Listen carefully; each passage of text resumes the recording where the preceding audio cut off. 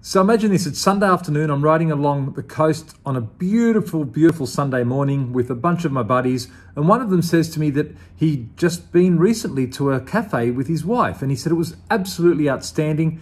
He said it's basically a it's a an outdoor seating area on an old timber mill, and the cafe itself is within a, a shipping container on the site.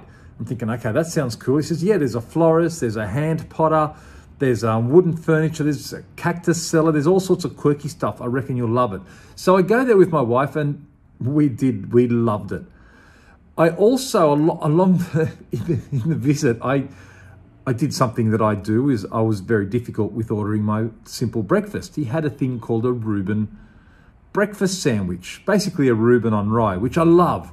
So I asked him for this thing and he, um, he said, yeah, no problems. But I said, but no bread, please.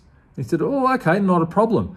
So he makes this thing for me and it was delicious. Basically a deconstructed Reuben sandwich. So I walked up to him later and asked him, like, I said to him, well, look, that was fantastic. Thank you. He said, oh, did you enjoy it? I said, yeah, I had a great, great fun eating it. It was just like this discovery. And then he says to me, well, it was actually a lot of fun for me to make. And I thought, oh, okay, this is cool. This guy really loves his food.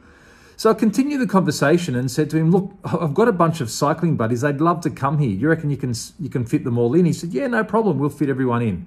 Love to have you." So a couple of weeks later, I rocked up with my crew. There were about 12 of us. And we'd just been for a long ride, a hard ride. And what happens when we do this is where we need two things. We need coffee and we need food. So we walked in and well, cycled in and I, um, I stopped and saw the owner. I said, Oh, hi, remember me? And he said, Oh, yeah, I remember you. You were the Reuben guy and you wrote me that really nice review on TripAdvisor. I said, Yeah, yeah, yeah. So I brought the crew along. Okay, great, welcome. And that was kind of it. I, I didn't expect streamers and rainbows, but I did expect something a little bit more than that. I thought, okay, it might just be my imagination. So we go and find a place to sit and order our food. It's one of those walk up service walk up ordering sort of places, but they bring the, take the food to your table. So we did all of that, sat down and had our first round of coffees, and no one cleared the coffees. And I thought, oh, that's not great.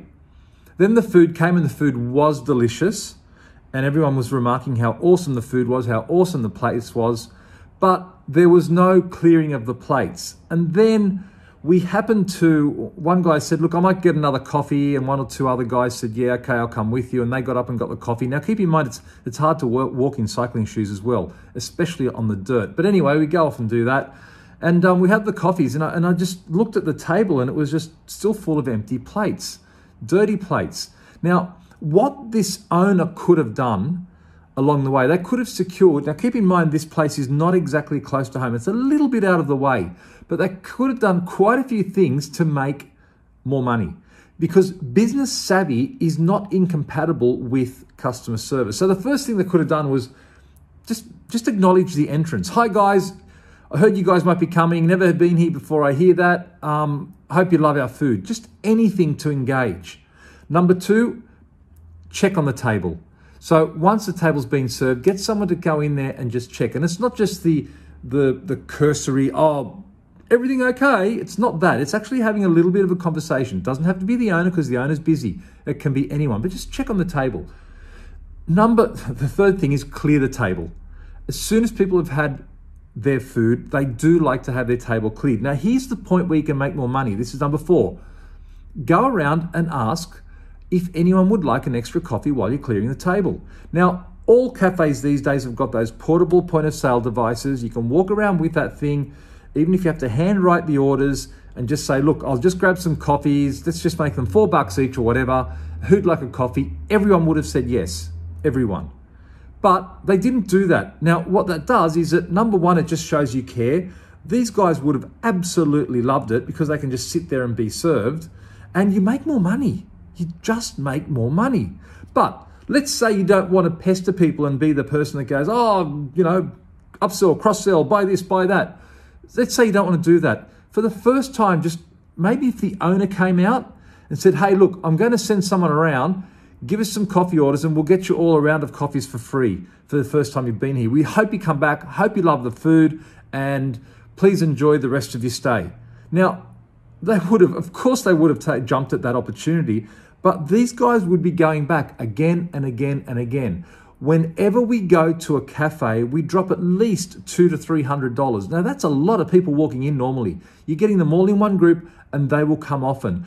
And these groups, whether it's a cycling group, it's a book reading group, it's any sort of group, they move very quickly and they're, they're very transient. If they see things they don't like, they'll just go to the next place. If they get bored, they'll go to the next place. If it's not good enough, they'll go to the next place. So you won't keep that group forever.